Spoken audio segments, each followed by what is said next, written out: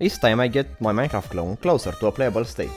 And for that, I need to finally add inventory and crafting to it. This sounds simple, and it would have been if it weren't for the fact that the game is multiplayer. So you won't expect the solutions that I had to come up with. So let's go. So what would Minecraft be without crafting?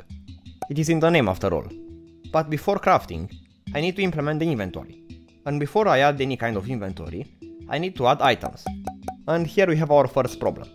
Let's say we create an item, and this is the inventory. This would work great, and the best part is that sending the inventory from the server to the player is easy. I just send the entire inventory structure as binary data. Well, here is the problem. Some items in Minecraft have metadata.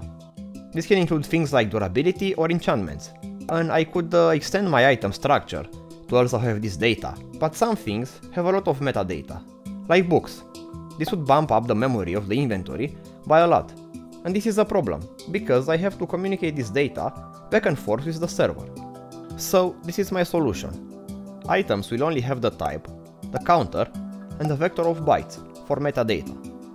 I will have various getters to read the data from items. And here is the thing. To communicate the inventory content from the server to the players, or to save the inventory content, I have a method to format the inventory content into binary data. And you can see that all it does is include each item in the final data. And the items also have a format method. And the best part is that since I have this custom data saving protocol, I also compress the data. If there is no item, I just write one byte of 0. And if it has data, I will write the item. If the item has metadata, I also write that. Next, I need to create an UI for my inventory. And for this, I decided to use code to make it rather than display an image of the UI. Why do I make my life harder, you might ask? Well, one advantage is that it is responsive.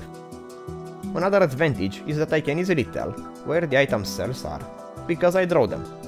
Also, it's easier to modify this UI through code, and the code wasn't that bad anyway. My 2D library has what are called 9 patches, and this is just a trick to scale the UI in a way that doesn't warp the edges. And also, I have a small UI utility that allows me to easily describe responsive layouts. I think the result looks nice. And yes, you saw it correctly. I want to have equipment besides armor. And here is where it all comes together. I want to have a quiver item, for example, that would expand my inventory, and I can simply do that. I can dynamically add this extra padding here, so I can store some extra item cells for arrows. Now, you might think that I could just write the code to move the items from one place to another but I wish that was the case. So think of this scenario. My inventory is full, and I want to pick up a block. The moment I take an item in my cursor, I will pick it up. But here is the thing. The server is the only one who decides if I pick up items. This makes my life way easier, but it means that the server needs to know my exact inventory state, including if I am holding an item in my hand or not. This will also be important for crafting, so the server can validate if I am crafting something correctly. So here is the plan. The server will know my entire inventory state. And for every action that I do, I will tell the server and he will do the same. So for example, I will tell the server that I took an item from here or that I placed some items here. The server will get some information like what item I moved, from where I moved it, and to where, and how many items I moved.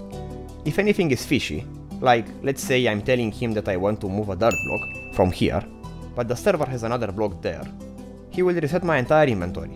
And this also applies to using items or placing blocks.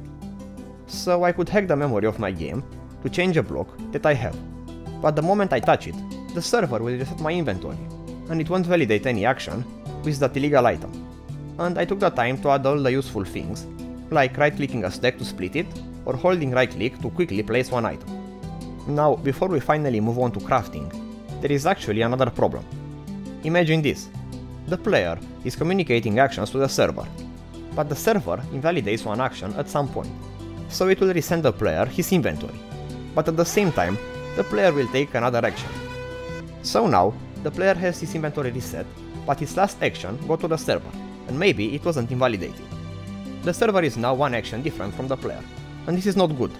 So I came up with a similar solution to the one I presented in this video, where I talked about block placement so each player has what is called an inventory revision number. and he has to communicate that to the server.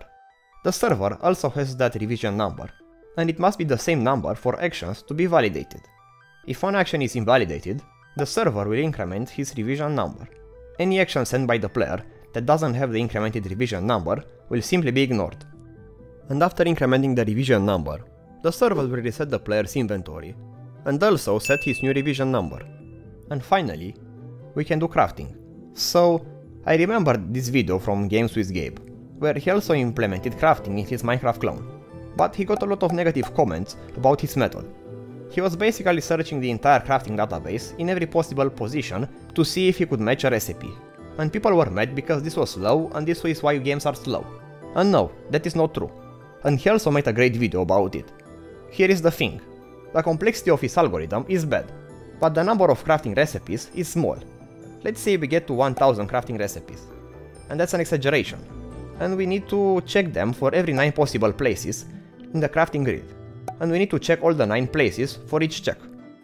This is clearly an over-exaggeration, and the real complexity is way smaller, because not all recipes can be placed everywhere. But even with the exaggerations, the number of ifs is only 81,000. This is a small number, and it is only run once per frame. And remember that it is way over exaggerated. The real number of ifs is way smaller. So I also just did brute force. And look, if you say that it is slow, just add like a few hundred recipes and see if you measure or notice any lag spikes while crafting, because you won't. But with this being said, I also added a cool small optimization, just because it was interesting and simple, so why not?